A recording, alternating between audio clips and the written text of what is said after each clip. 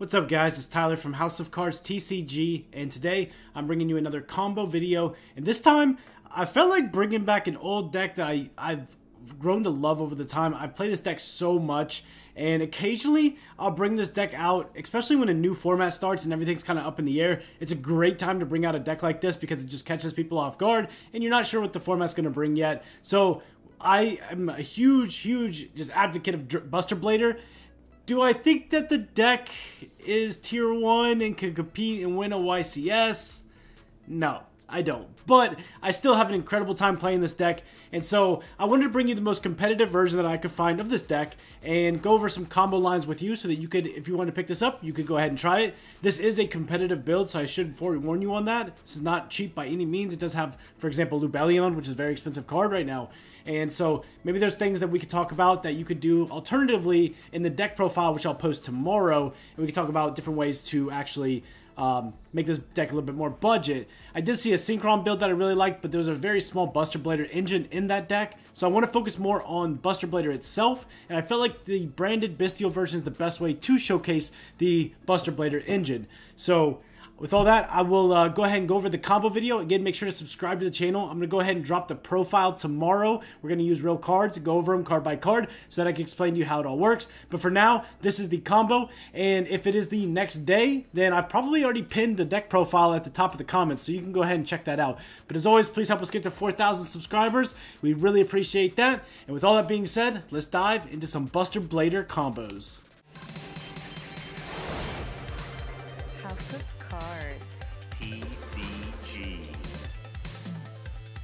Okay, so starting off for hand number one, we're just going to go over the basics here. The basics is basically starting with your best normal summon, which is going to be your Buster Whelp. What Buster Whelp does is when it's normal summoned, and specifically normal summon, it can't be when it's special summon, only normal summon, you get to add a Destruction Sword card. Most of the time, you're going to grab Prologue, which is the trap that allows you to set up the Buster Lock on your opponent's turn, which I'm going to show you now.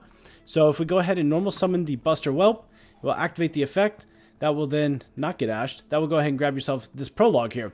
And prologue is great because you can sync uh, Destruction Sword memories and a Buster Blader and then chain it. And I'm going to show you how we're able to do all that. Now from here, we could link it off, but we're going to go ahead and link this for a Striker Dragon. That puts a dragon into the graveyard to allow you to activate these Destruction um, Sword memories.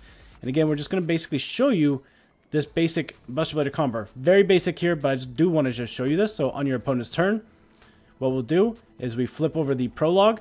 You send it. This one right here, we only play one of in this deck because we're able to actually do different things to recur our Fusion and our Buster Dragon.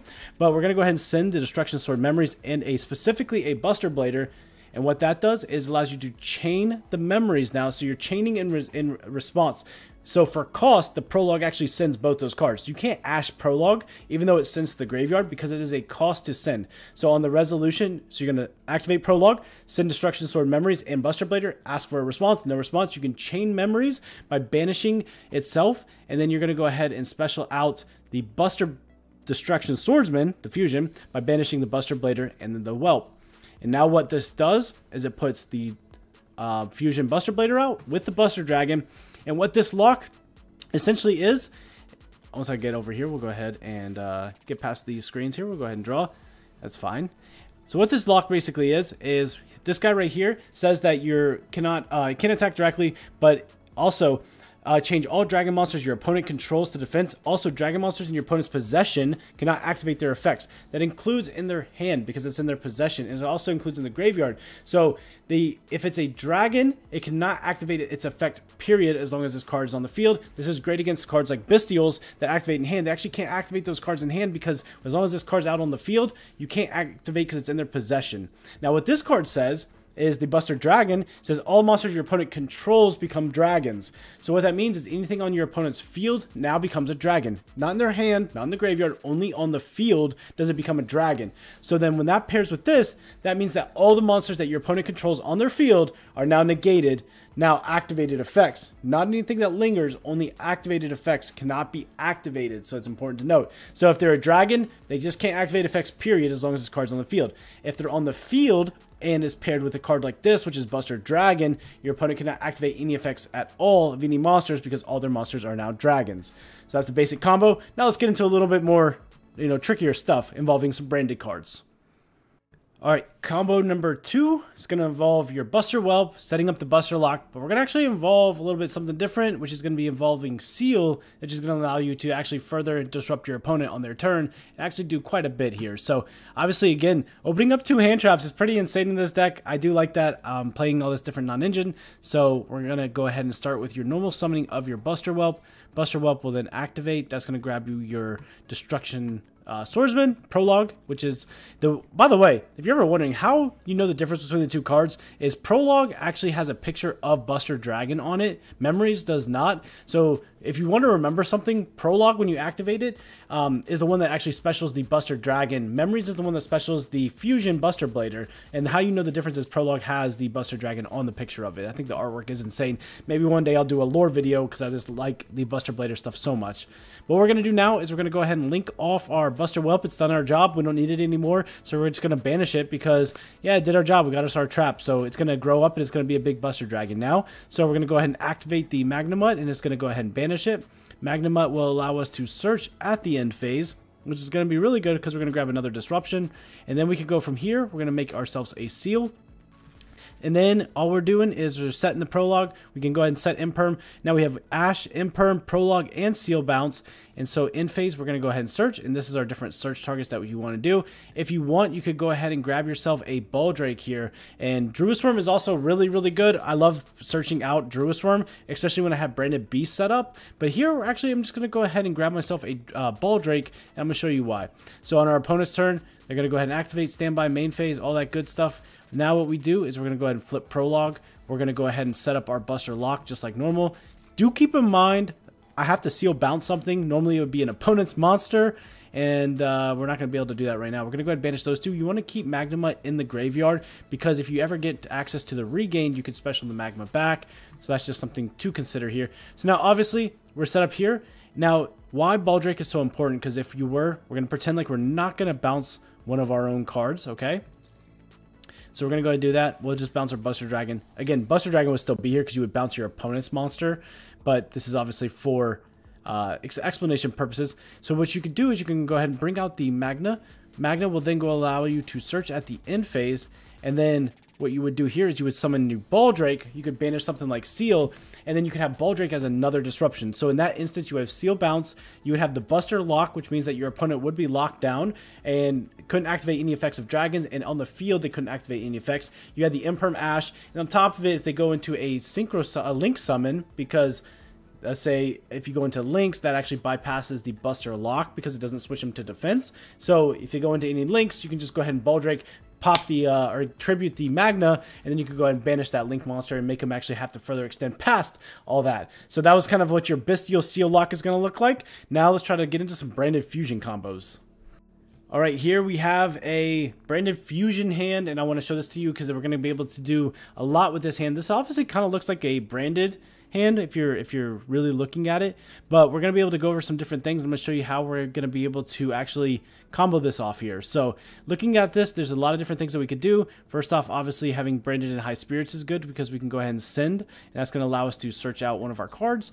So we can go ahead and reveal the Saronir because we can go ahead and send the Saronir to the graveyard and plus off of it by being able to send ourselves a um, um, Lubellion. So we're going to send Albion. We're going to add a card to hand. Here's our option in this deck is obviously we have, which would have been the Blazing Cartesia. We have Albaz, and then we have the Shrouded Dragon as well. We can obviously normal summon our Albaz that gets another dragon into the graveyard. It makes a Branded in Red live, which is going to be a pretty good play for us.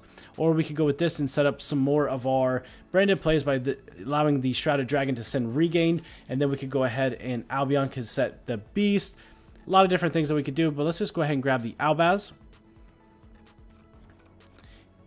Then we could go ahead and activate Saronir. Saronir will then go ahead and send, this is our different options here. We'll go ahead and send Lubellion. We will normal summon out our Albaz. And then we're actually not going to link it off because we actually need that card in order to activate Branded Fusion. So we can't link off the same turn that we activate Branded Fusion. Now we'll go ahead and activate Lubellion. Bring it out. Lubellion effect will bring out Regain because we do have Albion in the graveyard. Albion can obviously set Beast. And now from here, we can go ahead and activate our Blazing Cartesia. That's going to set up our setup here to get around any Imperms or Veilers. We'll activate Branded Fusion. That will go ahead and bring out our Albion. And now here, when we're looking at this, we're going to send our Albaz and we can send off our Lubellion, bring out the Albion, and then we're going to go ahead and Albion, make ourselves a Mirror Jade, and then we're also going to go ahead and use the Blazing Cartesia. Blazing Cartesia, we'll go ahead and bring out Sanctifier using these two cards here. And then we'll go ahead and make ourselves a Mirror Jade using those two right here. Now what this does is Branded Regain, obviously, so that we can actually shuffle back our Albion and draw a card. Grabs ourselves an Ash Blossom, which is really good. So now here we have our full setup. We're going to go ahead and go to end phase. Now we have a bunch of effects that we're going to activate. First one is going to be Albion. Albion is then going to go ahead and activate. We'll set ourselves a Branded Beast. And then we can go ahead and activate Blazing Cartesia. Cartesia will then go ahead and add ourselves back to the hand. Then on our opponent's turn, what we want to do is we want to obviously use our Sanctifier. Sanctifier can now grab Albaz, and then Albaz will go ahead and special back to our field, and we can activate this at any time.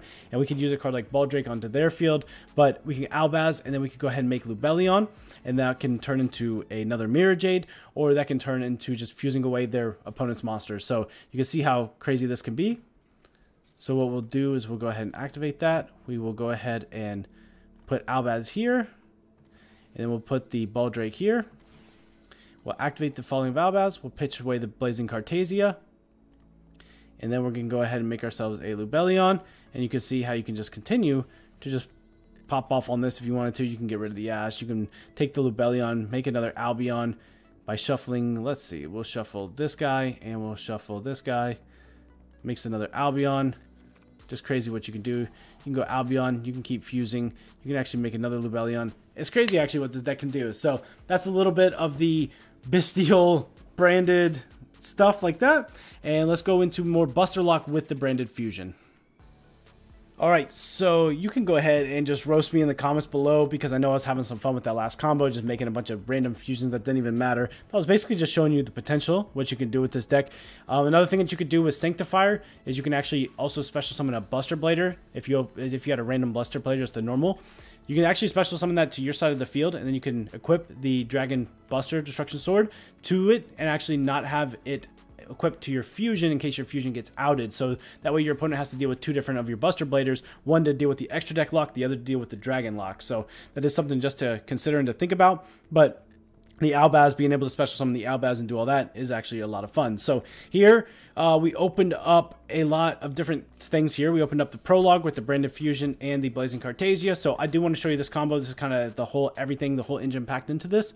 And then we obviously opened up with the Albion the Shrouded Dragon, which is going to allow us to get a draw. So this is all just something just I want to show you. And so we're going to start off by activating the Albion the Shrouded Dragon. And these are the different targets that we can send.